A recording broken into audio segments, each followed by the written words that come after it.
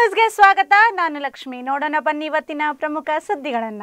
ಬೆಳ್ಳಂಬಳಿಗೆ ಜವರಾಯ ಅಟ್ಟಹಾಸ ಮೆರೆದಿದ್ದು, ರಸ್ತೆ ಅಪಘಾತದಲ್ಲಿ ಒಂದೇ ಕುಟುಂಬದ ಏಳು ಜನ ಮೃತಪಟ್ಟಿರುವ ಘಟನೆ ಕಲಬುರಗಿಯ ಕಮಲಾಪುರ ತಾಲೂಕಿನ ಹೊರವಲಯದ ಶ್ರೀ ಸಾಯಿ ಧಾಬಾ ರೆಸಾರ್ಟ್ ಸಮೀಪ ನಡೆದಿದೆ. ಕಲಬುರಗಿಯ ಕಮಲಾಪುರ ತಾಲೂಕಿನ ಹೊರವಲಯದ ಶ್ರೀ ಸಾಯಿ ಧಾಬಾ ರೆಸಾರ್ಟ್ ಸಮೀಪ ಖಾಸಗಿ ಬಸ್ ಮತ್ತು ಟೆಂಪೋ ನಡುವೆ ಮುಖಾಮುಖಿ ಡಿಕ್ಕಿ ಹೊಡೆದ ಪರಿಣಾಮ ಅಪಘಾತದ ತೀವ್ರತೆಗೆ ಬಸ್ ಪಲ್ಟಿಯಾಗಿ ಅದಕ್ಕೆ ಬೆಂಕಿ ಹೊತ್ತಿಕೊಂಡಿದೆ. ಇನ್ನು ಹಲವರು ಬಸ್ನಲ್ಲಿಯೇ ಸಜೀವ ದಫನವಾಗಿರುವ ಶಂಕೆ ವ್ಯಕ್ತವಾಗಿದೆ. ಘಟನೆಯಲ್ಲಿ ಬಸ್ನಿಂದ ಹಲವರು ಹೊರಗೆ ಬಂದು ಪ್ರಾಣಾಪಾಯದಿಂದ ಪಾರಾಗಿದ್ದಾರೆ. ಸ್ಥಳಕ್ಕೆ ಅಗ್ನಿಶಾಮಕ ದಳದ ಸಿಬ್ಬಂದಿ ದೌಡಾಯಿಸಿ ಬೆಂಕಿ ನಂದಿಸುವ ಕಾರ್ಯ ಕೈಗೊಂಡಿದ್ದಾರೆ. ಸಾವಿನ ಸಂಖ್ಯೆ ಇನ್ನಷ್ಟು ಏರಿಕೆ ಸಾಧ್ಯತೆ ಇದ್ದು ಬೀದರ್ ಶ್ರೀರಂಗಪಟ್ಟಣ ರಾಷ್ಟ್ರೀಯ ಹೆದ್ದಾರಿಯಲ್ಲಿ ಈ ದುರ್ಘಟನೆ ಸಂಭವಿಸಿದೆ. ಇನ್ನು ಈ bus Goa Hyderabad tourist bus ಎನ್ನಲಾಗಿದೆ. ಹಲವು ಗಾಯಾಳುಗಳನ್ನ ಆಸ್ಪತ್ರೆಗೆ ಸಾಗಿಸಲಾಗಿದ್ದು, ಕುಟುಂಬಸ್ಥರ ಆಕ್ರಂದನ ಮುಗಿಲು ಮುಟ್ಟಿದೆ. ಕಮಲಾಪುರ ಪೊಲೀಸ್ ಠಾಣಾ ವ್ಯಾಪ್ತಿಯಲ್ಲಿ ಈ ದುರಂತ ನಡೆದಿದೆ.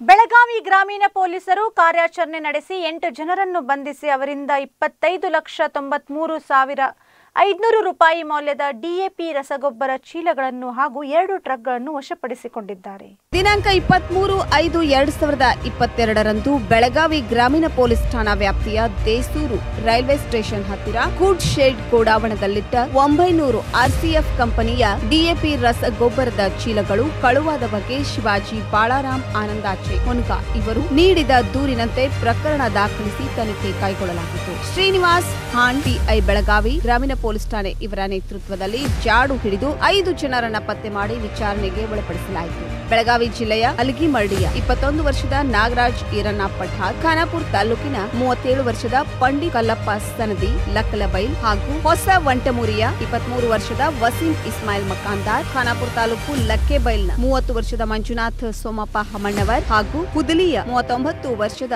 ಗಜ್ಬರ್ ಗೌಸ್ಬುದ್ದೀನ್ ಅಡ್ಡಿಮನಿ ಇವರನ್ನ ಬಂಧಿಸಲಾಯಿತು. ಬಂಧಿತರಿಂದ ಆರ್ಸಿಎಫ್ ಕಂಪನಿಯ ಡಿಎಪಿ ರಸಗೊಬ್ಬರದ ಎಂಟುನೂರ ಹತ್ತು ಚೀಲಗಳು, ಅದರ ಕಿಮ್ಮತ್ತು ಹತ್ತು ಲಕ್ಷ ತೊಂಬತ್ಮೂರು ಸಾವಿರದ ಐನೂರು ರೂಪಾಯಿ. ಕಳ್ಳತನ ಮಾಡಲು ಉಪಯೋಗಿಸಿದ ಎರಡು ಟ್ರಕ್ಗಳು ಹದಿನೈದು ಲಕ್ಷ ರೂಪಾಯಿ ಮೌಲ್ಯ. ಹೀಗೆ ಇಪ್ಪತ್ತೈದು ಲಕ್ಷ ತೊಂಬತ್ಮೂರು ಸಾವಿರದ ಐನೂರು ರೂಪಾಯಿ ಮೌಲ್ಯದ ಸ್ವತ್ತನ್ನ ವಶಪಡಿಸಿಕೊಂಡು ನ್ಯಾಯಾಂಗ ಬಂಧನಕ್ಕೆ ಒಪ್ಪಿಸಲಾಗಿದೆ. ವಾರದೊಳಗೆ ಆರೋಪಿಗಳನ್ನ ಪತ್ತೆ ಮಾಡುವಲ್ಲಿ ಶ್ರಮಿಸಿದ ತಂಡವನ್ನ ಪೊಲೀಸ್ ಆಯುಕ್ತರು ಹಾಗೂ ಉಪ ಆಯುಕ್ತರುಗಳು ಶ್ಲಾಘಿಸಿದ್ದಾರೆ. ಬೆಳಗಾವಿ ಜಿಲ್ಲೆ ಹುಕ್ಕೇರಿ ತಾಲೂಕಿನ ಬಸಾಪುರ ಗ್ರಾಮದ ಪರಮಪೂಜ್ಯರು ಕಾಯಕಯೋಗಿ ಕಾಯಕ ಯೋಗಿ ಪಾವನಮೂರ್ತಿ ರಾಚಯ್ಯ ಮಹಾಸ್ವಾಮಿಗಳು ಗುರುವಾರ ಲಿಂಗೈಕ್ಯರಾದರು. ಶ್ರೀಗಳ ಸರಳ ಸಂಪನ್ನ ಕಾಯಕ ಜೀವಿಗಳಾಗಿದ್ದರು. ಇವರು ಲಿಂಗೈಕ್ಯರಾದ ಸುದ್ದಿಯನ್ನು ಕೇಳಿದ ಸದ್ಭಕ್ತರು ಬಸಾಪುರ ಗ್ರಾಮದಲ್ಲಿ ಜಮಾಯಿಸಿ ಅವರ ಪಾರ್ಥಿವ ಶರೀರಕ್ಕೆ ಅಂತಿಮ ನಮನ ಸಲ್ಲಿಸಿದರು.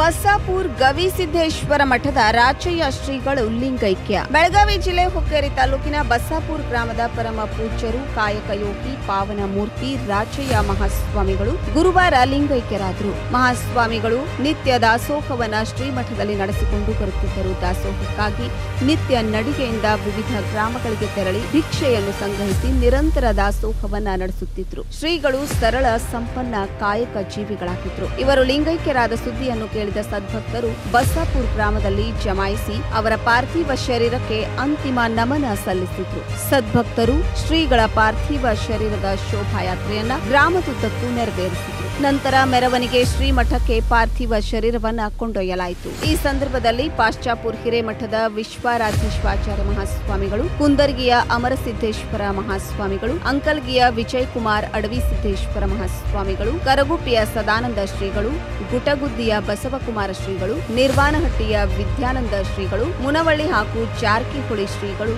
ನುಡಿ ನಮನ ಅರ್ಪಿಸಿದ್ರು. ಇದೇ ಸಂದರ್ಭದಲ್ಲಿ ಸಕಲ ಪರಮ ಪೂಜ್ಯರ ಹಾಗೂ ಸದ್ಭಕ್ತರ ಆಶಯದ ಮೇರೆಗೆ ಗವಿಸಿದ್ದೇಶ್ವರ ಮಠದ ಉತ್ತರಾಧಿಕಾರಿಯನ್ನ ನೇಮಿಸಲಾಯಿತು. ಈ ಸಂದರ್ಭದಲ್ಲಿ ರಾಜಕೀಯ ಮುಖಂಡರಾದ ರಾಹುಲ್ ಜಾರಕಿಹೊಳಿ, ಪವನ್ ಕತ್ತಿ, ಬಸವರಾಜು ಕುಂದ್ರಿ, ಕಲಗೌಡ್ ಪಾಟೀಲ್, ಮಂಜುಗೌಡ ಪಾಟೀಲ್, ಪಂಚ ಗ್ರಾಮಗಳ ಹಿರಿಯರಾದ ರಾಜುಗೌಡ ಪಾಟೀಲ್, ಶಂಕರಯ್ಯ ಗವಿಮಠ್, ಅಶೋಕ್ ಮಠದ್ ಅಪ್ರಾಯಿ ಗೋಪಾಲಪ್ಪಗೋಳ್ ದೊಡ್ಡ ತಮ್ಮ ಗೋವಿಂದಪ್ಪಗೋಳ್, ಪಂಚ ಗ್ರಾಮಗಳಾದ ಬಸಾಪುರ್, ಕರಗುಪ್ಪಿ, ಯಲ್ಲಾಪುರ್, ಹಗೆದಾಳ್ ಮತ್ತು ಅರಳಿಕಟ್ಟಿ ಗ್ರಾಮದ ಸದ್ಭಕ್ತರು ಅಂತಿಮ ಕಾರ್ಯಕ್ರಮದಲ್ಲಿ ಭಾಗವಹಿಸಿದ್ದರು. ಅದರಂತೆ ಸುತ್ತಮುತ್ತಲಿನ ಗ್ರಾಮಗಳ ಸದ್ಭಕ್ತರು ಗವಿಸಿದ್ದೇಶ್ವರ ಕಮಿಟಿಯ ಸರ್ವ ಸದಸ್ಯರು ಯುವಕರು ಸಮಸ್ತ ಸದ್ಭಕ್ತರು ಉಪಸ್ಥಿತರಿದ್ದರು. ಮಾಡಿ ಪೀಠ ಚಲಿಪತಿಗಳನ್ನು ಮಾಡ್ತಕ್ಕಂಥ ಮುಂಬರುವಿರುವಂಥ ರಾಚಯ್ಯ ಮಹಾಸ್ವಾಮಿಗಳವರ ಅಗಲಿಕೆ ನಮ್ಮ ಕುಂದರ ನಾಡಿಗೆ ಭಾಳ ದೊಡ್ಡ ಒಂದು ದುಃಖ ಆಗಿರ್ತದೆ ಅದರೊಟ್ಟಿಗೆ ತುಂಬಲಾರದ ನಷ್ಟ ಆಗಿರುತ್ತೆ ಹಾಗಾಗಿ ಅವರ ಲಿಂಗಾತ್ಮ ನಮ್ಮೆಲ್ಲರನ್ನ ಕಾಪಾಡಲಿ ಅಂತಕ್ಕಂಥದ್ದು ಅಭಿಲಾಷೆ. ಶಿವನ ಭಾಗವನ್ನ ಶಿವನಲ್ಲಿ ಲೀನವಾಗಿದ್ದಾರೆ. ಧರ್ಮ ಪರಂಪರೆಯಂತೆ ಗ್ರಾಮ ಹಾಗೂ ಅಡವಿಯರವರ ಸುಪುತ್ರರಾದಂತಹ ಸುಮಂತಿಯವರನ್ನ ಬದಲಾಗಿ ಎಲ್ಲ ಭಕ್ತಾದಿಗಳು ನಿರ್ಮಿಸಿದ್ದಾರೆ ಅದೇ ತೆರನಾಗಿ ಇಂದಿನಿಂದ ಅವರ ಒಂದು ನಾಮಕರಣ ಒಂದು ನಾಮಾಂಕಿತದಿಂದ ಇಂದಿನಿಂದ ಅವರು ಕರೆಯಲ್ಪಡ್ತಾರೆ. ಎಲ್ಲ ಗವಿಸಿದ್ದೇಶ್ವರ ವಿಷಯ.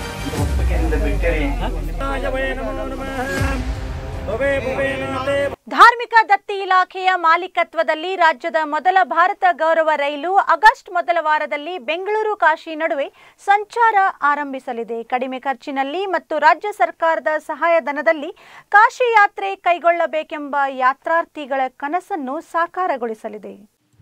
ರಾಜ್ಯ ಸರ್ಕಾರ ಈ ಬಾರಿಯ ಬಜೆಟ್ನಲ್ಲಿ ಕಾಶಿ ಯಾತ್ರೆಗೆ ತೆರಳುವ ಯಾತ್ರಾರ್ಥಿಗಳಿಗೆ ತಲಾ ಐದು ಸಾವಿರ ಸಹಾಯಧನ ನೀಡುವ ಯೋಜನೆಯನ್ನ ಘೋಷಿಸಿದೆ. ಧಾರ್ಮಿಕ ದತ್ತಿ ಇಲಾಖೆ, ಕೇಂದ್ರ ಸರ್ಕಾರದ ಭಾರತ್ ಗೌರವ್ ರೈಲು ಯೋಜನೆಯನ್ನ ಬಳಸಿಕೊಂಡು ಕಾಶಿ ಯಾತ್ರೆ ಯೋಜನೆ ಅನುಷ್ಠಾನಕ್ಕೆ ನಿರ್ಧರಿಸಿದೆ. ಇದಕ್ಕಾಗಿ ಕಳೆದ ವಾರ ನೈಋತ್ಯ ರೈಲ್ವೆಯಲ್ಲಿ ನೋಂದಣಿ ಮಾಡಿಕೊಂಡಿತ್ತು. ಸದ್ಯ ಎರಡೂ ಇಲಾಖೆಗಳ ಕಿರಿಯ ಅಧಿಕಾರಿಗಳ ಸಭೆ ನಡೆಸಿ ರೈಲು ಬೋಗಿಗಳು, ಆಂತರಿಕ ಸೌಲಭ್ಯಗಳು, ವೇಳಾಪಟ್ಟಿ, ಮಾರ್ಗ, ಓಡಾಟ ವೆಚ್ಚದ ಕುರಿತು ಚರ್ಚಿಸಿದ್ದಾರೆ. ಇದೇ ಸಂದರ್ಭದಲ್ಲಿ ಯೋಜನೆಯ ಮೊದಲ ಪ್ರವಾಸವನ್ನು ಆಗಸ್ಟ್ ಮೊದಲ ವಾರ ಕೈಗೊಳ್ಳಲು ನಿರ್ಧರಿಸಲಾಗಿದೆ.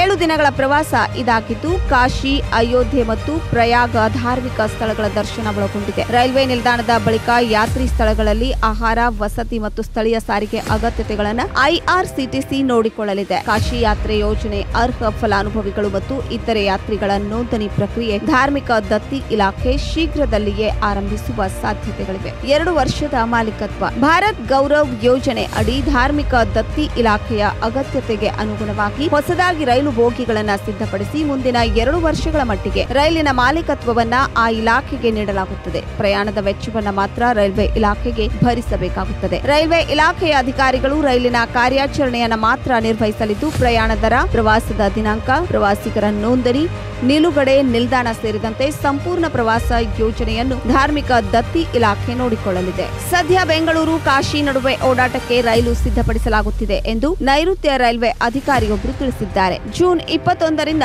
ರಾಮಾಯಣ ಯಾತ್ರಾ ರೈಲು ಆರಂಭ. ಹೀಗಿರಲಿದೆ ಭಾರತ್ ಗೌರವ್ ರೈಲು. ಈ ರೈಲು ಹದಿನಾಲ್ಕು ಬೋಗಿಗಳನ್ನ ಒಳಗೊಂಡಿರಲಿದೆ. ಈ ಪೈಕಿ ಹನ್ನೊಂದು ಎಸಿ, ಎರಡು ಸ್ಲೀಪರ್, ಒಂದು ಆಹಾರ ಸಿದ್ಧಪಡಿಸುವ ಪ್ಯಾಂಟ್ರಿ ಬೋಗಿ ಇರಲಿದೆ. ಏಳ್ನೂರು ಪ್ರಯಾಣಿಕರ ಸಾಮರ್ಥ್ಯ ಹೊಂದಿರುತ್ತದೆ. ಕಾಶಿ ಯಾತ್ರೆ ಹಿನ್ನೆಲೆಯಲ್ಲಿ ಕಾಶಿ, ಅಯೋಧ್ಯೆ ವೈಭವಗಳ ಚಿತ್ರಗಳನ್ನೊಳಗೊಂಡ ಹೊರ ಮತ್ತು ಒಳ ವಿನ್ಯಾಸದೊಂದಿಗೆ ಬೋಗಿಗಳನ್ನ ಸಿದ್ಧಪಡಿಸಲಾಗುವುದು. ಈ ರೈಲಿನಲ್ಲಿ ವಾರ್ಷಿಕ ಮೂವತ್ತಾರು ಬಾರಿ ಕಾಶಿ ಯಾತ್ರೆಗಳನ್ನ ಆಯೋಜಿಸಲು ಧಾರ್ಮಿಕ ದತ್ತಿ ಇಲಾಖೆ ನಿರ್ಧರಿಸಿದೆ. ಕೇಂದ್ರ ರೈಲ್ವೆ ಇಲಾಖೆಯ ಭಾರತ್ ಗೌರವ್ ಯೋಜನೆಯೊಂದಿಗೆ ರಾಜ್ಯ ಸರ್ಕಾರದ ಕಾಶಿ ಯಾತ್ರೆ ಯೋಜನೆ ಹೊಂದಾಣಿಕೆ ಮಾಡಲಾಗಿದೆ. ಧಾರ್ಮಿಕ ದತ್ತಿ ಇಲಾಖೆ ಬೆಂಗಳೂರು ಕಾಶಿ ನಡುವೆ ಯಾತ್ರಿ ರೈಲು ಆರಂಭಿಸಲು ನೋಂದಣಿ ಮಾಡಿಕೊಂಡಿದೆ. ಎರಡೂ ಇಲಾಖೆಗಳ ಅಧಿಕಾರಿಗಳು ಸಭೆ ನಡೆಸಿದ್ದು, ಆಗಸ್ಟ್ ಮೊದಲ ವಾರ ರೈಲು ಓಡಾಟ ಆರಂಭಿಸಲಿದೆ. ರಾಜ್ಯದ ಮೊದಲ ಭಾರತ್ ಗೌರವ್ ರೈಲು ಇದಾಗಲಿದೆ ಅಂತ ನೈಋತ್ಯ ರೈಲ್ವೆ ಮುಖ್ಯ ಸಾರ್ವಜನಿಕ ಸಂಪರ್ಕ ಅಧಿಕಾರಿ ಅನೀಶ್ ಹೆಗ್ಡೆ ತಿಳಿಸಿದ್ದಾರೆ. ವೀರಶೈವ ಲಿಂಗಾಯತ ವಧುವರರ ಹನ್ನೊಂದನೇ ರಾಜ್ಯ ಮಟ್ಟದ ಬೃಹತ್ ಸಮಾವೇಶ ರವಿವಾರ ದಿನಾಂಕ ಹನ್ನೆರಡು ಆರು ಎರಡ್ ಸಾವಿರದ ಇಪ್ಪತ್ತೆರಡರಂದು ಮುಂಜಾನೆ ಹನ್ನೊಂದು ಗಂಟೆಯಿಂದ ಶ್ರೀ ಮಹಾಂತ್ ದುರದುಂಡೇಶ್ವರ ಮಠ ಯರಗಟ್ಟಿ ತಾಲೂಕ್ ಸೌದತ್ತಿಯಲ್ಲಿ ಹಮ್ಮಿಕೊಳ್ಳಲಾಗಿದೆ. ಸಮಾವೇಶದ ಸದುಪಯೋಗ ಪಡಿಸಿಕೊಳ್ಳುವಂತೆ ಶ್ರೀ ಗುರು ಶಾಂತೇಶ್ವರ ವಧುವರರ ಮಾಹಿತಿ ಕೇಂದ್ರ ಸಂಯೋಜಕರಾದ ಶಿವಾನಂದ್ ಜಿರ್ಲಿ ಅವರು ಆಯಾ ಸಮಾಜ ಬಾಂಧವರಿಗೆ ಕರೆ ನೀಡಿದ್ದಾರೆ. ನಿಮ್ಮ ಮಕ್ಕಳ ಮದುವೆಯ ಚಿಂತೆಯಲ್ಲಿ ಇದ್ದೀರಾ? ಮದುವೆಯ ಚಿಂತೆಗೆ ಒಂದು ಶಾಶ್ವತ ಪರಿಹಾರದ ನಿರೀಕ್ಷೆಗೆ ನಿಮಗಾಗಿ ಆಯೋಜನೆಗೊಂಡಿದೆ ವಧುವರರ ಸಮಾವೇಶ. ವೀರಶೈವ ಲಿಂಗಾಯತ ವಧುವರರ ಹನ್ನೊಂದನೇ ರಾಜ್ಯ ಮಟ್ಟದ ಬೃಹತ್ ಸಮಾವೇಶ ರವಿವಾರದಂದು. ಮುಂಜಾನೆ ಹನ್ನೊಂದು ಗಂಟೆಯಿಂದ ಶ್ರೀ ಮಹಾಂತ ದುರ್ದುಂಡೇಶ್ವರ ಮಠ, ಯರಗಟ್ಟಿ ತಾಲೂಕು ಸವದತ್ತಿಯಲ್ಲಿ ಹಮ್ಮಿಕೊಳ್ಳಲಾಗಿದೆ. ಸಂಯೋಜಕರಾದ ಶ್ರೀ ಗುರುಶಾಂತೇಶ್ವರ ವಧುವರರ ಮಾಹಿತಿ ಕೇಂದ್ರದ ಸಂಯೋಜಕರಾದ ಶಿವಾನಂದ ಜಿರ್ಲಿ ಅವರು ಈ ಬಗ್ಗೆ ಮಾತನಾಡಿ, ವೀರಶೈವ ಲಿಂಗಾಯತ ಸಮಾಜದ ಎಲ್ಲ ಬಾಂಧವರಲ್ಲಿ ವಿಜ್ಞಾಪನೆ ಏನೆಂದರೆ ಎಂದರೆ ಶ್ರೀ ಗುರುಶಾಂತೇಶ್ವರ ವಧುವರರ ಮಾಹಿತಿ ಕೇಂದ್ರ ಕಳೆದ ಎಂಟು ವರ್ಷಗಳಿಂದ ಸಮಾಜ ಸೇವೆಯಲ್ಲಿ ತೊಡಗಿದ್ದು, ನಾವು ಈಗಾಗಲೇ ಬೆಳಗಾವಿ ಜಿಲ್ಲೆಯ ಪ್ರಮುಖ ಪಟ್ಟಣಗಳಲ್ಲಿ ಹತ್ತು ಸಮಾವೇಶವನ್ನ ಯಶಸ್ವಿಯಾಗಿ ನೆರವೇರಿಸಿದ್ದೇವೆ. ಇದೀಗ ಪ್ರಥಮವಾಗಿ ಗೆರ್ಗಟ್ಟಿ ಪಟ್ಟಣದಲ್ಲಿ ಆಯೋಜಿಸಿದ್ದೇವೆ. ಕಾರಣ, ಸಮಾಜದ ವೀರಶೈವ ಲಿಂಗಾಯತರ ಎಲ್ಲ ಒಳ ಪಂಗಡಗಳ ವಿಧುರ ವಿಧವೆಯರು ವಿಚ್ಛೇದಿತರು, ತಡವಾಗಿ ಮದುವೆಯಾಗ ಬಯಸುವವರು ತಮ್ಮ ಇತ್ತೀಚಿನ ಭಾವಚಿತ್ರ ಮತ್ತು ಬಯೋಡಾಟಾಗಳೊಂದಿಗೆ ಸಮಾವೇಶದಲ್ಲಿ ಭಾಗವಹಿಸಿ ಈ ಸಮಾವೇಶವನ್ನು ಯಶಸ್ವಿಗೊಳಿಸಬೇಕೆಂದು ಕೋರಲಾಗಿದೆ ಎಂದು ಹೇಳಿದರು.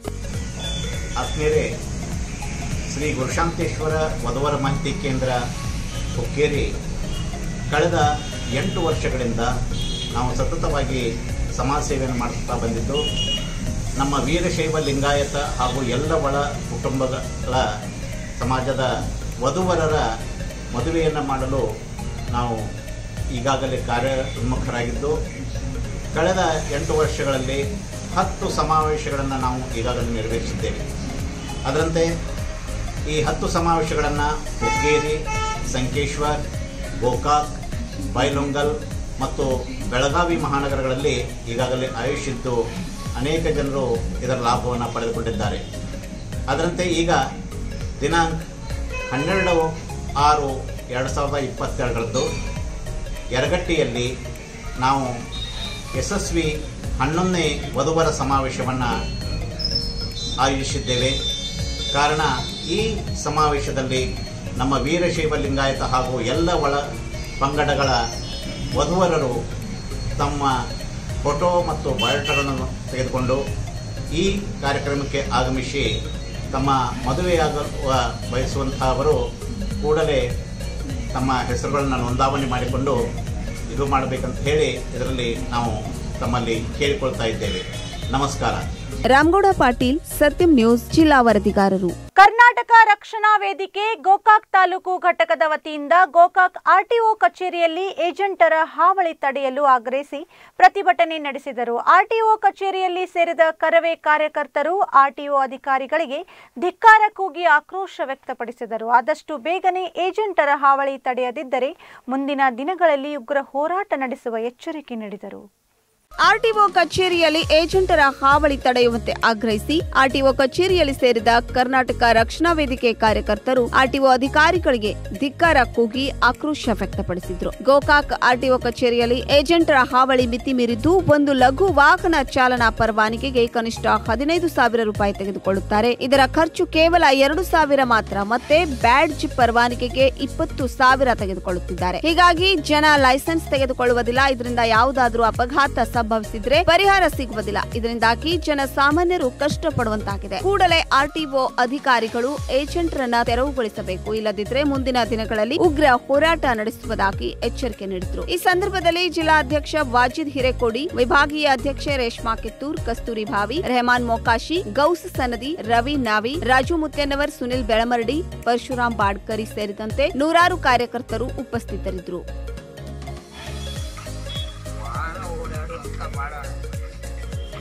ಉತ್ತರವಾಗಿ ಭಾಳ ತೊಂದರೆ ಇದೆ. ಏಕೆಂದ್ರೆ ವಾಹನಗೆ ಆಟೋ ಇಲಾಖೆಯಿಂದ ಯಾರು ಫ್ರೀಯಾಗಿ ಚೆಕ್ ಮಾಡ್ತಾ ಇಲ್ಲ. ಭಾಳ ಅಂತ ನಾನು. ಹಲವಾರು ವರ್ಷಗಳಿಂದ ನಾನು ಕರ್ನಾಟಕದಲ್ಲಿ ಪೂರ ಯಾಕಂದ್ರೆ ಒಂದ್ ಗಾಡಿಗೆ ಇನ್ಸೂರೆನ್ಸ್ ಇರೋದಿಲ್ಲ ಒಂದ್ ಗಾಡಿ ಪಾರ್ಕಿಂಗ್ ಇರೋದಿಲ್ಲ ಒಂದ್ ಗಾಡಿ ಮೇಲೆ ಇರೋದಿಲ್ಲ ಯಾಕಂದ್ರೆ ಜನ ಸಾಮಾನ್ಯರಿಗೆ ತೊಂದರೆ ಆಗುವಂತ ಬಹಳ ವೃತ್ತದ್ರಿ ನಿಮ್ಗೂ ಗೊತ್ತೈತ್ರಿ. ನಾವು ಹೇಳುವಂತ ಇದನ್ನಿಲ್ಲ ಯಾಕಂದ್ರೆ ನಿಮ್ಮ ಅಧಿಕಾರಿ ಕೆಲಸಗಳಿಂದ ನೀವು ನೇರವಾಗಿ ನೀವು ಮಾಡ್ಕೊಂತ ಹೋದ್ರೆ ನಾವು ಹೇಳುವಂಥ ಪ್ರಶ್ನೆ ಇದನ್ನಿಲ್ಲ. ಅಂದ್ರೆ ಈಗೇನಂದ್ರ, ಈಗೇನು ಆಟೋ ಏಜೆಂಟ್ಗಳು ಇರುವಂತ ಇವು ಬಡವರಾಗಿರೋ ಏನೋ ಲೈಸೆನ್ಸ್ಗಳು ಮಾಡ್ತಾರ, ಒಂದು ಏನೋ ಇದು ನಡ್ತಾವೆ, ಯಾಕಂದ್ರೆ ಒಂದು ಲೈಸೆನ್ಸ್ ಮಾಡಿಸ್ಬೇಕಂದ್ರೆ ಏನು ಗೌರ್ಮೆಂಟ್ ಫೀಸ್ ಏಟ್ ಇರ್ತೈತಿ ಒಂದು ಸಾವಿರ, ಒಂದು ಹದಿನೈದು ನೂರು ರೂಪಾಯಿ ಹೆಚ್ಚಿಗೆ ತಗೋಬಹುದು ಅವ್ರು. ಆದ್ರ ಇವ್ರಿಗೆ ಹದಿನೈದು ಸಾವಿರ, ಹತ್ತು ಸಾವಿರ, ಐದು ಸಾವಿರ ಹಿಂಗೆ ಹೆಚ್ಚು ತೊಗೊಂಡ್ರಂದ್ರೆ ಪಾಪ ಬಡವ್ರ ಕಡೆ ದುಡ್ಡು ಇರುವ ಇರೋದಿಲ್ಲ. ಅವ್ರ ಪರಿಸ್ಥಿತಿ ಪರಿಸ್ಥಿತಿ ನೋಡಿದ್ರೆ ಕೆಟ್ಟಿರ್ತದೆ ಅಂಥ ಟೈಮ್ನಲ್ಲಿ ನಾವು ಎಲ್ಲಿಯೂ ಕೊಡಬೇಕಂತ ಅವ್ರಿಗೂ ಡೈರೆಕ್ಟ್ ಒಳಗಡೆ ಬಂದು ಅವ್ರು ಕೆಲಸ ಮಾಡ್ಕೊಳಕ್ಕೆ ಅವ್ರಿಗೆ ಗೊತ್ತಿರೋದಿಲ್ಲ. ಇವೆಷ್ಟು ಇವತ್ತಿನ ಪ್ರಮುಖ ಸುದ್ದಿಗಳು, ನಿರಂತರ ಸುದ್ದಿಗಾಗಿ ನೋಡ್ತಾ ಇರಿ. ಸತ್ಯಂ ಟಿವಿ ಕನ್ನಡ, ನಮ್ಮ ನಡೆ ಸತ್ಯದ ಕಡೆ.